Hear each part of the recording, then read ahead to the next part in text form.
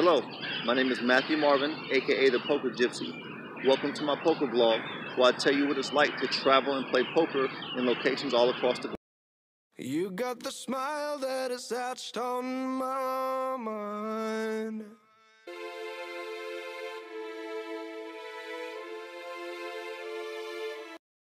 I will be rating the locations 1 through 7 based on how many days a week you can play professionally there. I will also be giving you a meter. The meter represents whether or not I feel that the field was soft or difficult. Now, everything you see is coming straight from the camera phone. I want to bring a new meaning to reality.